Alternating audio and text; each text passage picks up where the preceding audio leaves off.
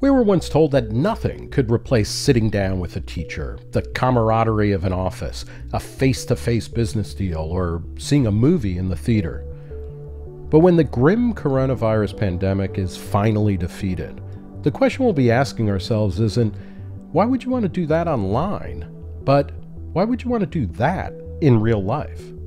For decades, the shimmering potential of what used to be called cyberspace gathered dust in the corner of our living rooms like a fancy, expensive piece of exercise equipment used for draping laundry.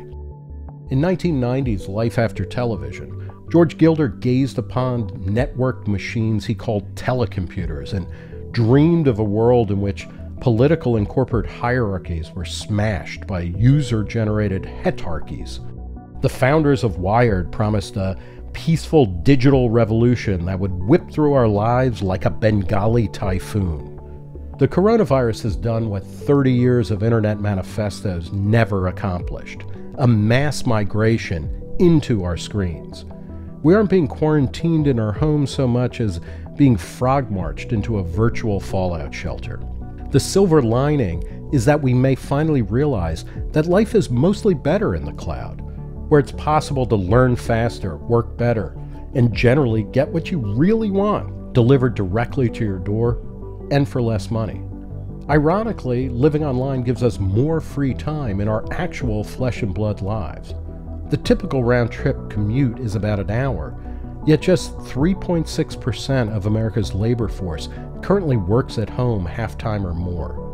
More than 50% of all employees have a job that could at least partly be done remotely, and 80% say they want to work from home at least part of the time.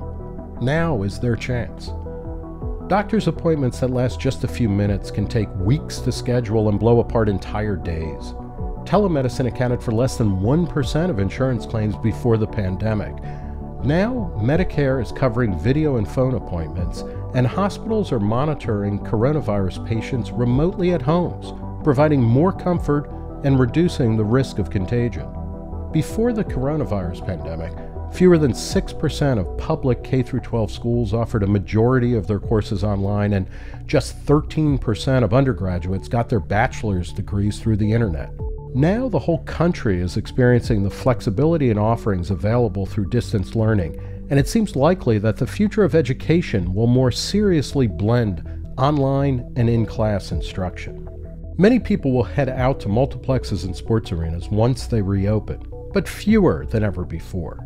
Even before this time of self isolation, studios had already been stepping up the simultaneous release in theaters and on demand video. Netflix now allows users to watch the same show remotely with friends, creating a communal experience instead of a solitary one. Amazon is hiring an additional 100,000 workers to meet demand for deliveries of its standard fare and for groceries too, as online retailing explodes. Many will come to see their weekly shopping as the definition of 21st century drudge work, the equivalent of beating carpets or hand washing clothes. For all the talk about Americans moving back to traditional, densely populated cities, suburbs were already making a comeback, according to Brookings Institution demographer William H. Frey. Suburban and small town living will become even more attractive as goods and cultural offerings become increasingly dispersed via the internet. This new accelerated digital revolution won't be lonely or isolating. When it comes to school, work, and socializing, We'll all get to set our own hours and preferences more than ever before, and we'll have more time left over to hang out with family and friends. Virtual and augmented reality gear, faster connection speeds, and the ability to interact with more and different people will give us more points of contact than ever before. Cyberspace, the new home of mind, declared independence from the industrial world decades ago and had been slowly filling up with new arrivals, like the New World did after the first contact with Old Europe. The Great Migration has finally begun now, not out of choice but out of necessity. That irony aside, the future awaits us all in whatever terms we choose.